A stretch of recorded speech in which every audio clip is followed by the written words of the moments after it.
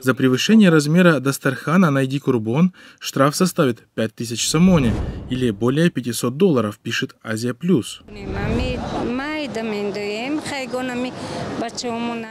Сотрудники Комитета по делам религии, упорядочению традиций, торжеств и обрядов проведут рейды в дни празднования Иди Курбон.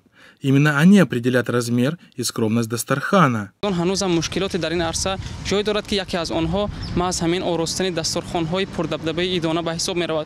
В рамках рейда будет проверяться праздничный Дастархан, насколько скромно люди отмечают этот день, сообщил пресс-секретарь Комитета по делам религии Афшин Муким. По мнению властей, размер стола должен быть не более 1,5 на 1 метр. На нем должны присутствовать фрукты и несколько праздничных угощений, в частности чагалдак и орзук – традиционные мучные изделия. Сухофрукты тоже можно, но их не должно быть много, отмечается в сообщении. За нарушение этих правил грозит штраф в размере 5000 самони.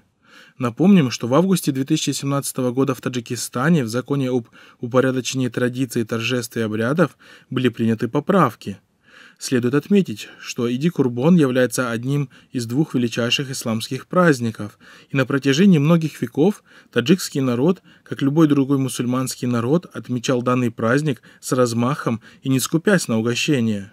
Наблюдатели отмечают, что подобные запреты и рейды осуществляются только в отношении исламских праздников и, как правило, не касаются светских праздников.